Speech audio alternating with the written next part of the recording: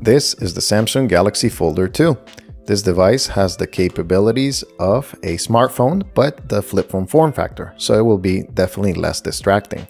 The device has the capability to install apps, and it does have a lot of extra niceties. You can navigate with the keypad, or you can also navigate with the touchscreen.